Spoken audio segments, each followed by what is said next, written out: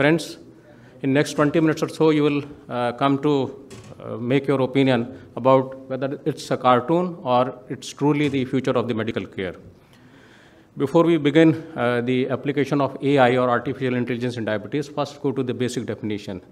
Artificial intelligence or AI is a computer system or a program which performs tasks that ordinarily require human intelligence, such as receiving perceptions from the ex- external and internal environment, solving a problem, initiating a sequence of action to solve a problem. Machine learning, which is again a very, very commonly used phrase in uh, AI field, is basically uh, the system which enables an AI system to learn and refine its own performance based on the internal and the external validation.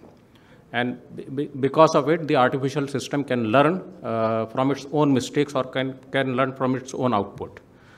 An AI system is able to do reasoning. It can do natural language processing, that is, an ability to read, understand, and respond in human languages. It can do planning, and the machine learning's function of the AI can improve the outcome or the prediction uh, faculty of the artificial intelligence system automatically through its own experience. Now, you should be thinking, why should I bother about the AI in diabetes care?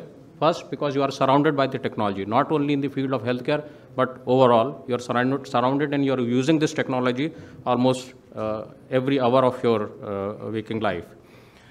Everybody is talking about AI. There is an explosion of literature about the application of artificial intelligence in diabetes care. Right from last 10 years, there is an explosion of uh, literature and the scientific studies. And it's a big money business. In next five years, the AI would be around $64 billion business. And most of the money is being pumped in the field of diabetes. Uh, with AI, there is one other term that is called the digital health. It means the constellation of wearable or implanted sensor with wireless communication with a smartphone. The smartphone receives the basic information and do the basic processing with the software, which is which we call the app, and then the information is basically transferred to the cloud or to the healthcare provider. With this, the digital ecosystem is the again the constellation of the tools made by the wearable sensors, the the environmental uh, information, and uh, the network through which the healthcare provider is connected to them.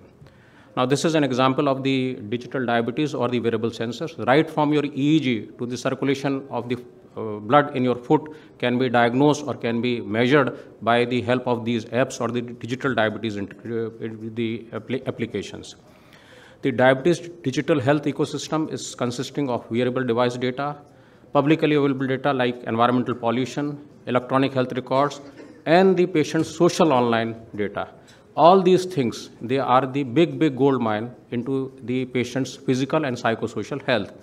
But the human intelligence is simply not capable of making uh, any, um, um, any intelligent decision based on this complex interplay of variables because they are multifolds. They are in millions or they are in thousands.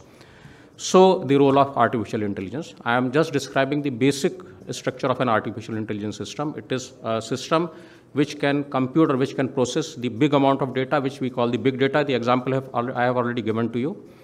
A common, uh, common, usual, and important but vague problem is given to the AI system, uh, which can process the big data. The human beings or human intelligence, with the help of gold standard test, tells the AI system which outcome is correct. The, whether the, in this example, whether the patient is having coronary artery disease or patient is not having the coronary artery disease based on the human intelligence and information obtained from the coronary angiography or perfusion scanning. Then the AI program is asked to generate the pattern for each out, outcome based on the, pro, the processing of the big data. That is called the training of the AI system. In the second phase, a new set of the population, new set of the patient population is given to the AI system with the same problem and then the AI program is asked to predict the condition based on the recognition of the patterns which it has already created with the previous set of the patient population. The results are basically validated or the feedback is given to the system by the again human intelligence. This is called the learning of the AI system and based on this validation, based on this uh, feedback, the AI system fine tunes its own output, it fine tunes its own pattern making and the decision making. And after multiple cycle of the teaching and learning, after hundred or sometimes thousands of patients, the AI system is ready for the clinical usage with reasonable amount of specificity and sensitivity. oftentimes it can beat human intelligence in predicting the outcome based on the vague information. And then the uh, AI system is ready for the solution. Just for your information, uh, the human intelligence cannot deal with more than six variables, whereas AI system can deal with the millions of variables at, at, a, very, at a given time and in a very, very short period of the time. The second attribute of AI is the image processing, and we all know that the technical vision is usually better than human vision because you can impart the thermal imaging uh, technology or thermal imaging uh, ability tissue density differentiation, dynamic change in the uh, tissue structure, that is the flow detection, image enhancement and future feature extraction. Seemingly two similar looking ECG, one might be having coronary artery disease, another might be a normal ECG. The AI system can take out the various features of, of a seemingly normal looking ECG and can predict the presence of coronary artery disease.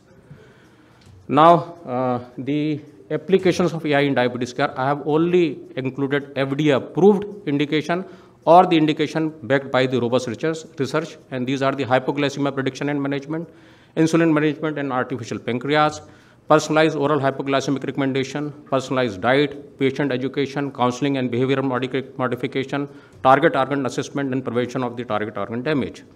Now the initial AI hypoglycemia app, which we are running through the smartphone, did the basic data crunching. They just sort of uh, classified the data and the action was left to the human being, the patient, or the healthcare provider. But with time, the FDA-approved technology, which was used in Sugar IQ app by Medtronic, and this is an app which is integrated with the CGM data and Watson AI system from IBM. It tracks the influence of diet, exercise activity, treatment, time of the day, and even location, and gives the detailed trends. Most importantly, it can give the hypoglycemia alarm hours before it Uh, um, uh, it occurs. And this kind of feedback helps the patient to proactively manage the hypoglycemia. And in some patient, this quick acting may save the patient from the all the ill effects of hypoglycemia in patients basically who are destined to develop severe complication from hypoglycemia. This sort of early alert would save those patients from all those complications. Now, AI, the second practical usage of AI technology is closed loop hybrid pump. It is again an insulin pump with continuous glucose monitoring and AI powered software.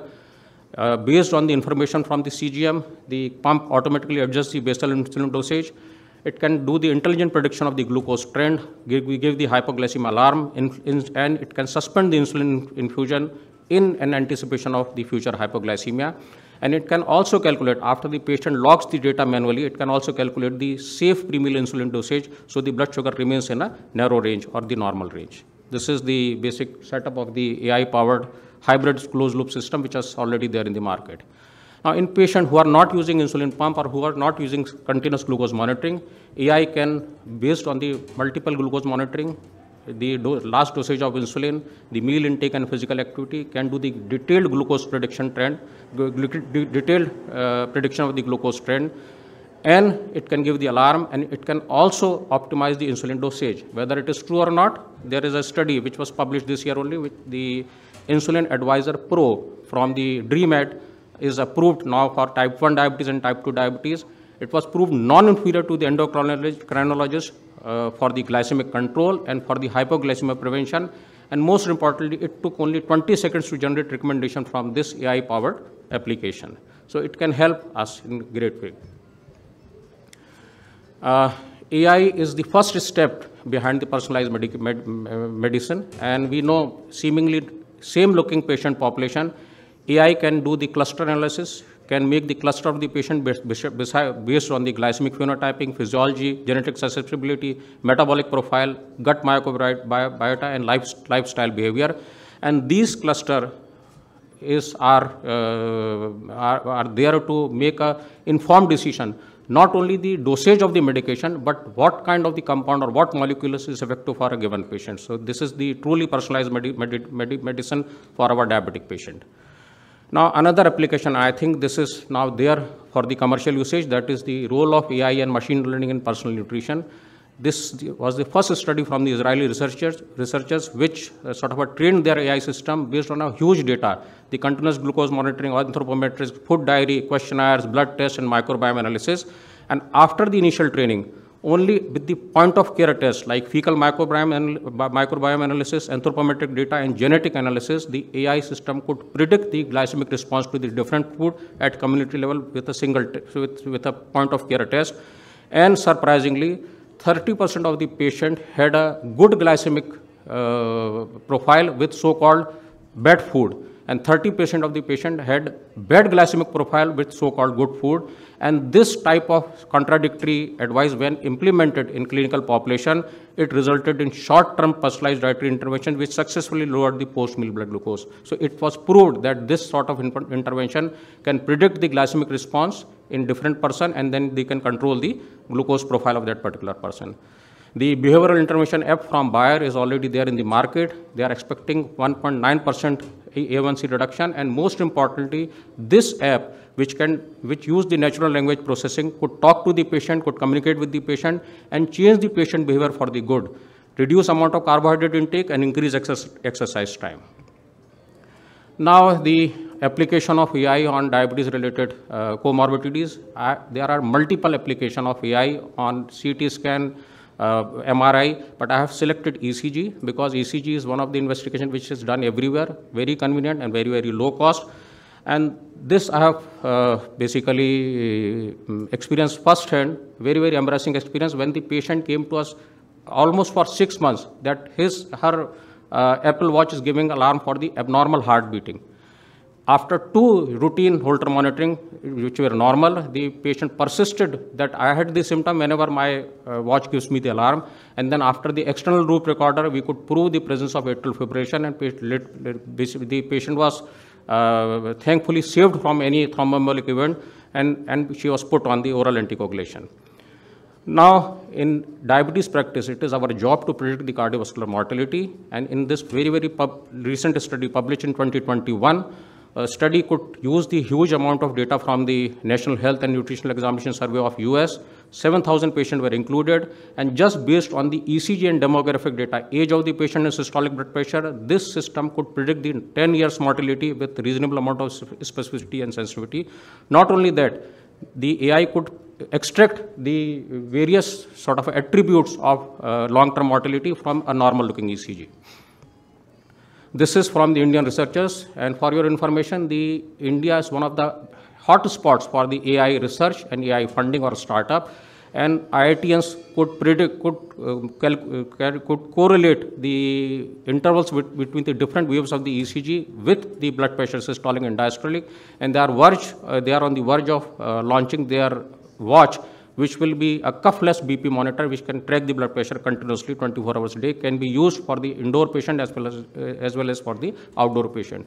The AI application of ECG data are for the determination of the LV function, early diagnosis of asymptomatic coronary artery disease, atrial fibrillation we have already seen, and the prognostic information for the short-term mortality. Now, the diabetes kidney disease is one of the dreaded complication. We have got the KDIGO guidelines, which can classify the severity of the uh, DKD, but they cannot predict the outcome. Again, the KidneyIntelX score, again, this study was published this year only, 2021, could uh, with very high amount of specificity and sensitivity can differentiate the patient who are at the high risk of developing worsening of their DKD. And this sort of AI generated uh, prediction can prevent the worsening of the DKD in our diabetic patient. Two FDA-approved diabetic retinopathy systems are already there in the market with which we, the non-ophthalmologists, can detect the presence of diabetic retinopathy. Not only this, the trained ophthalmologist can also refine or fine-tune their diagnosis and intervention based on the heat signature of the retina, which is again a newer application of AI for the retinopathy. The COVID pandemic has basically facilitated the research of AI for the diabetic foot problem. Now with a simple smartphone photo, you can uh, classify the foot as a high-risk foot. If the patient is having a wound, you can take the photograph. The AI system can guide the primary care provider, which is sort of distant from the surgical uh, uh, specialist, about the wound management. And now the AI is commonly being used for the manufacturing of the footwear of the patient.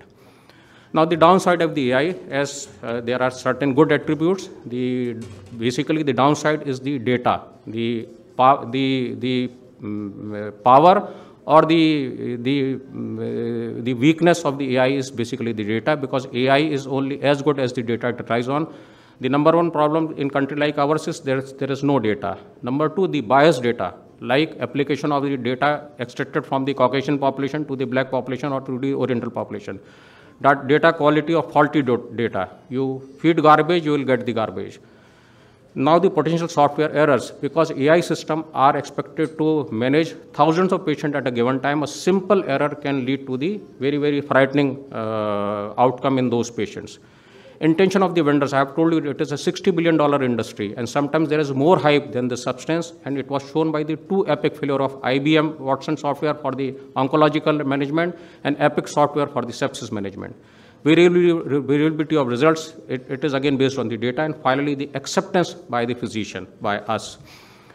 So to summarize, we friends, data is the king and information is the power. Human intelligence needs AI to make sense of huge amount of data provided by the technology.